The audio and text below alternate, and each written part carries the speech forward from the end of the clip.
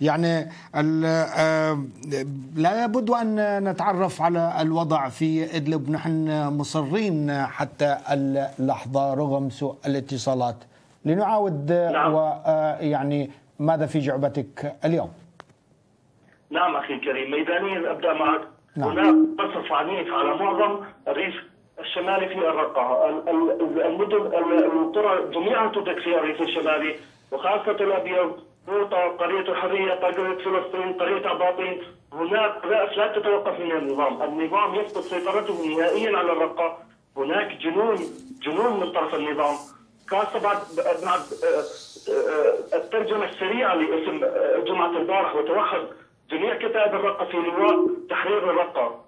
وفي اتصال منذ قليل مع رئيس المجلس العسكري أكد لنا أنه خلال أيام سيصدر بيان بالزحف إلى مدينة الرقة وتحريرها بإذن الله. عسكريا عسكريا هناك تقدم كبير للجيش الحر، هناك انتصارات متتالية، هناك قصف متوالي على الفرقة 17 وهي الفرقة الممتدة من الرقة إلى دير الزور. الفرقة الوحيدة في المنطقة على فكرة، هناك قصف من الجيش الحر لا يتوقف القصف، نحن لا نسمع إلا سيارات الإسعاف، سيارات الاطفاء، تتجه إلى الفرقة تعود في الجنود هناك اكتظاظ بمشافي المدينة بقتل الأسد. أيضا للتنويه. يبدو أن بشار لم يبقى إليه عنده أي جنود فهو يعتقل أي شخص بحجة الاحتياط أو بحجة التجنيد العسكري. نعم. أي شخص بين مواليد 75 إلى 95 هو يعتقل. لديه تأجيل دراسية. ليس كذلك ليس مشكلة النظام النظام يعتقل أي شخص لتجنيده لقتل أهله جيد. آه يعني آه في الحقيقة آه أيهم نتساءل عن طبعا كونه ذكرت كلمة احتياط يعني في دعوة للاحتياط. فهل من يلبي دعوات الاحتياط وينضم إلى جند الأسد يعني ليقتل أهله؟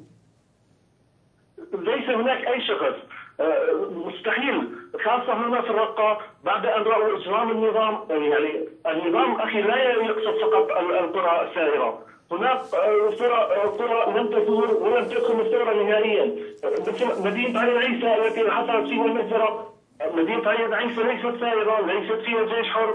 قصف للنظام. أصبح الشعب متيقن أن النظام يقصد كل السوريين. طيب. لأنه ليس سوري. هو إيراني ويقصد كل كل السوريين. طيب أيام. أيام إذا كان إذا كان الشعب صار متيقن إن النظام يقصف كما قصف طابور الناس اللي واقفين على محطة البنزين بعين عيسى لياخذوا يرووا مزروعاتهم ياخذوا مازوت قصف أبرياء لا علاء لا بجيش حر ولا وحتى في بياناتهم يعني متقدمين بالسن و إلى آخره.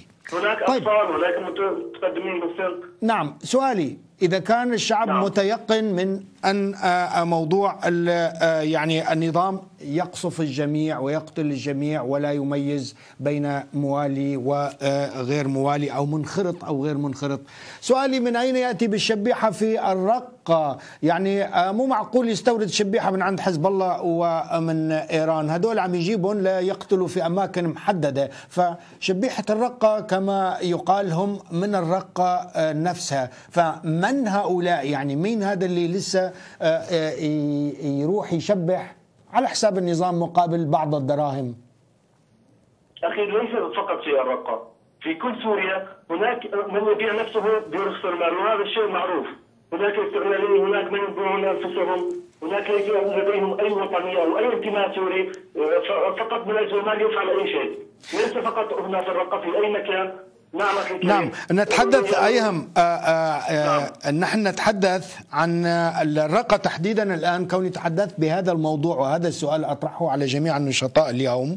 نريد أن نحدد هوية طبعا ليس في هذا الاتصال الآن معك وإن في إنما في اتصالات أخرى يعني سيكون لدينا موضوع عن موضوع الشبيحة واللجان الشعبية. من هي اللجان الشعبية؟ من أين تمول؟ من أين تجمع؟ من وين عم تجيبون هذول من وين عم مقطون بشوارع الرقة من طبعا اللي بحلب من حلب اللي بالشام إلى آخره.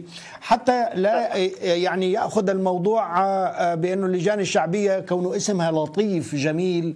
حتى لا يأخذ منحى أنه هدول من أبناء الشعب نفسه جايين ليخدموا الشعب أو شيء من هذا القبيل. نريد أن نعري هذه اللجان.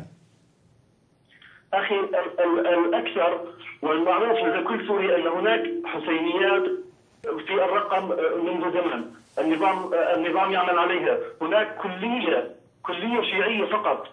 كيف حسينيات الرقة فيها؟ أنا ما بعرف إذا كان الرقة فيها من أتباع المذهب الشيعي. طبعا هم أهلنا وهذه مسألة دينية لا نتدخل فيها. لكن الرقة ما بعرف إذا فيها. بعرف بالست زينب ومناطق أخرى بدمشق.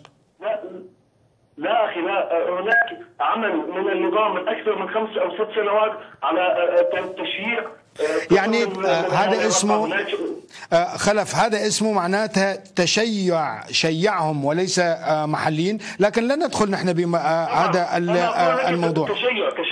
نعم لن ندخل بهذا الموضوع الآن كونه موضوعنا تغطية ميدانية والسياسية ربما في مجال آخر نناقشه مع مختصين لكن يهمني جدا موضوع الشبيحة. من هم؟ هل يعني يأتون على أساس عقائدي أم مالي؟ مثل ما قلت واحد بيبيع كل مقدساته وأهله بمقابل الفلوس في من يشبح على عائلته أيضا؟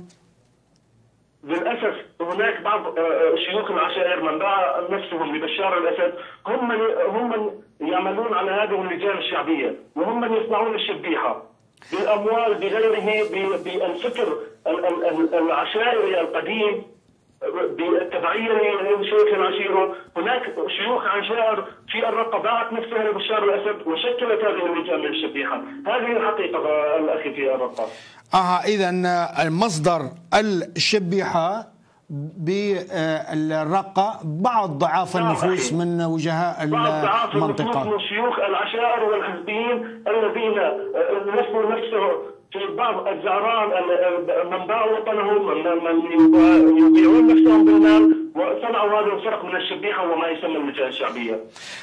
في الحقيقة هو الانشقاق يعني وارد وبكل اللي الآن بالجيش الحر وخلينا ناخذ اللي منضمين ونشطاء في المعارك ضد الأسد كانوا حزبيين ونحن لا نجرم ايا كان في لمجرد انضمامه للحزب وخصوصا إنه الحزب بحد ذاته حزب البعث هو غير موجود وإنما واجهة ولا وجود لهذا الحزب من سنة 63 أنا ذكرت لك أنه الحزبيين رخصاء النفس من يضعون أنفسهم بالاموال نعم. ليس كل الحزبيين. نعم.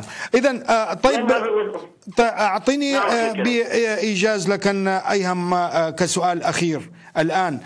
هل الاعمال بكونه أمبارح الجيش الحر أول من توحد هو توحد بالرقة فهل أعمال الإجرام توازي النشاط بالجيش الحر بالرقة؟ هل القصف مستمر على كافة الأنحاء أم على مناطق معينة مثل تيل الأبيض المحررة فقط؟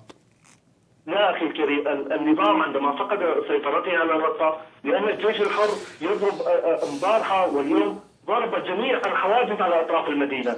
جميع الحواجز ضربت حاجز القلب قتل عليه رائد وسبعة من عناصره.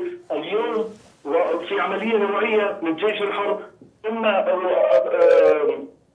في كمين محكم للجيش الحر تم القبض على قادة الفرقة 17 والحمد لله.